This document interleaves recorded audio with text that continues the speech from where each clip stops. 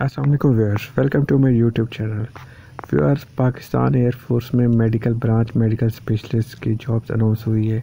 इस वीडियो में हम हम डिटेल जानेंगे कि सैलरी कितनी होती है। सैलरी सेवेंटी फाइव थाउज़ेंड से नाइन्टी थाउज़ेंड तक सैलरी इसमें बताई गई है। तो बाकी इसमें आपको बताते हैं कि मज़ीद डिटेल जो है इस वीडियो में मैं आपके साथ शेयर करने जा रहा हूँ। तो आपने वीडियो को कंप्लीट देखना है और वीडियो के एंड पे आपने चैनल को सब्सक्राइब लाजमी करना है। तो ये एडवर्टाइजमेंट आज अनाउंस हुई है डिफरेंट न्यूज़पेपर में। तो इसमें मैं आपको बताना चाहूँगा कि कौन कौन सी जॉब्स अनाउंस हुई हैं और उनका क्राइटेरिया क्या है सिलेक्शन प्रोसीजर क्या है। बाकी अदर डिटेल जिनमें आ जाता है कि लास्ट डेट जो है वो इक्कीस दिसंबर तक है।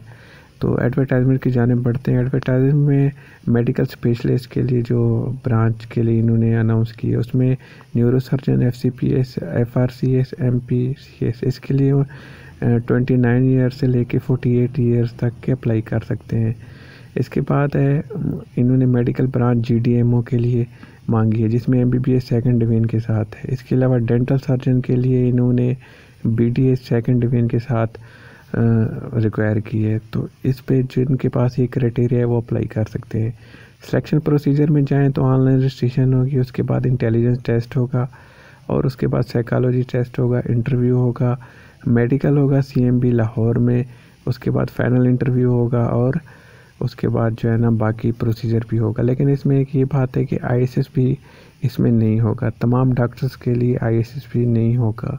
ये एक बड़ी अच्छी बात होती है, किसी को डायरेक्ट इस पर सिलेक्शन हो जाती है, बगैर आई के।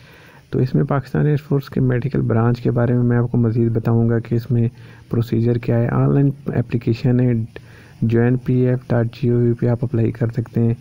डिस्क्रिप्शन में मैंने इसका लिंक दे दिया है उस पर क्लिक करके आप ऑनलाइन अप्लाई कर सकते हैं।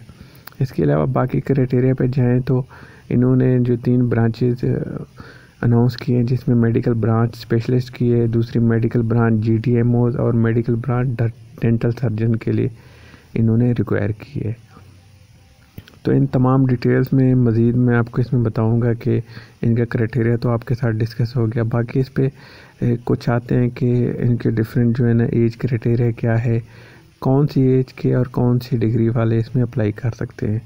तो इसमें जो इन्होंने एडवर्टाइजमेंट में दी है कि सेकेंड डिवीज़न होनी चाहिए, जबकि जो स्पेशलाइजेशन के लिए इन्होंने मांगी स्पेशलिस्ट के लिए वो किसी भी मेडिकल कॉलेज या Pakistan medical and dental council से होनी चाहिए। एज रिक्वायरमेंट में इन्होंने 29 ईयर्स से 49 ईयर्स तक रिक्वायर की है। यानी कि 49 ईयर्स वाले कैंडिडेट इस पर अप्लाई कर सकते हैं।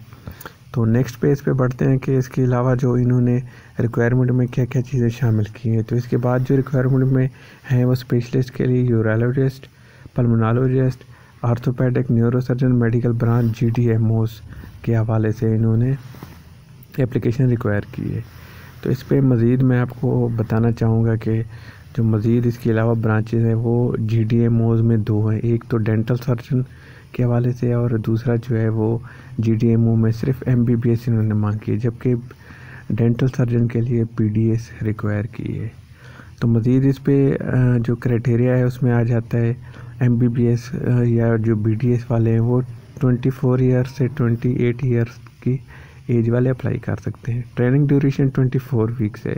ये तमाम की ट्रेनिंग ट्रेनिंग ड्यूरेशन जो है वो ट्वेंटी फोर वीक्स है। यानी कि इसमें इन्होंने ट्रेनिंग करनी होती है डिफरेंट अकेडमीज़ में, जिसमें एरो मेडिकल इंस्टीट्यूट इनका है कराची में वहाँ से इनको ट्रेनिंग दी जाएगी।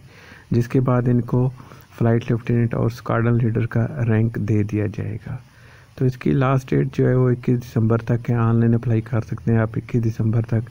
21 दिसंबर के बाद आपको ऑनलाइन एप्लीकेशन की सहूलत नहीं मौजूद होगी। उसके बाद टेस्ट स्टार्ट हो जाएँगे, जो कि डिफरेंट सिलेक्शन सेंटर पे आपके टेस्ट होंगे। तो इसमें मज़ीद मैं आपको बताना चाहूँगा कि एरो मेडिकल इंस्टीट्यूट जो है, इनका कराची में वहाँ पे ट्रेनिंग दी जाएगी 24 वीक्स की। उस ट्रेनिंग के बाद जो है ना, आपको डिफरेंट रैंक्स पे आपको ड्यूटीज़ के लिए मुख्तलिफ़ पी ए पी एफ़ के जो हॉस्पिटल हैं एयरफोर्स के, वहाँ पे आपको डिटेल कर दिया जाएगा। वहाँ पे आप अपना जो है ना ड्यूटीज़ सर अंजाम दे सकते हैं। तो इनके हॉस्पिटल डिफरेंट सिटीज़ में हैं, इस्लामाबाद, कराची, लाहौर और डिफरेंट जो इनकी एयर बेसिस है, वहाँ पे इन्होंने हॉस्पिटल बनाए हुए हैं। वहाँ पे ड्यूटीज़ देनी होती है। अकामोडेशन पे आए तो अकामोडेशन आपको फ्री दी जाएगी। आपको और आपकी फैमिली को free accommodation free medical treatment और इसके अलावा जो आपके एयर टिकट्स हैं, उस पर आपको फिफ्टी परसेंट रिलैक्सेशन दी जाती है। प्रोसीजर ऑनलाइन अप्लाई करने का ये है कि लिंक जो है डिस्क्रिप्शन में दे दिया उस पर क्लिक करके आप ऑनलाइन अप्लाई कर सकते हैं। तो इसके अलावा जो सेकंड प्रोसीजर पे आते हैं कि इसका क्या होगा? इसके बाद नेक्स्ट टेस्ट होगा। तो टेस्ट के लिए आपको तैयारी की ज़रूरत होगी इंटेलिजेंस टेस्ट होगा। इंटेलिजेंस टेस्ट के बाद जो सेकंड टेस्ट होगा वो आपके जॉब से रिलेटेड होगा। यानी कि बीडीएस वालों का डेंटल के हवाले से टेस्ट होगा, जो स्पेशलिस्ट है उनको स्पेशलिस्ट के हवाले से टेस्ट लिया जाएगा। ड्यूटीज़ पे आए तो शिफ्टों में ड्यूटीज़ होती है, जो कि मुख्तलिफ़ पी हॉस्पिटल पे है होती हैं। मतलब मॉर्निंग इवनिंग और नाइट शिफ्ट में। जबकि अकामोडेशन इस पर फ्री प्रोवाइड की जाती है। नेक्स्ट पे आते हैं रैंक्स रैंक्स में कौन कौन से रैंक किए जाते जबकि बीडीएस और एमबीबीएस वाले फ़्लाइट लेफ्टिनेंट जबकि स्पेशलिस्ट वाले स्क्वाड्रन लीडर के तौर पे ड्यूटीज़ सर अंजाम देते हैं। ये जो है इनके इनिशियल रैंक होते हैं। बाकी प्रमोशन इसी हिसाब से, इसी क्राइटेरिया में होती रहती है। तो इसमें अप्लाई करने पे आए तो इसमें मेल और फीमेल दोनों कैटेगरीज़ के लिए इन्होंने कहा हुआ है कि अप्लाई कर सकते हैं आप। तो अप्लाई करने का तरीकाकार बड़ा आसान है। डिस्क्रिप्शन में लिंक दिया है, वहाँ पे आप क्लिक करके डायरेक्ट ऑनलाइन अप्लाई के पोर्टल पे पहुँच जाएँगे। वहाँ पे आप अपनी एप्लीकेशन सबमिट करेंगे, उसके बाद आपको टेस्ट डेट और टाइम भी उसी टाइम ही शो हो जाएगा। इसके अलावा कोई और क्वेश्चन हो तो आप कमेंट सेक्शन में पूछ सकते हैं इन उसका जल्द से जल्द रिप्लाई दिया जाएगा। और बाकी कोई और सवाल हो तो इस हवाले से तो आप शेयर कर सकते हैं। कितनी वैकेंसीज हैं?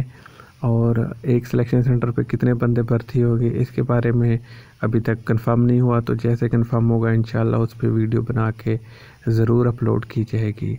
अपना ख्याल रखिएगा चैनल पर न्यू है तो चैनल को सब्सक्राइब कीजिए, अपने दोस्तों के साथ वीडियो शेयर कीजिए, ताकि ज़्यादा से ज़्यादा लोगों तक ये पहुँचे वीडियो पहुँचे और उनको इस एडवर्टाइजमेंट के बारे में पता चले।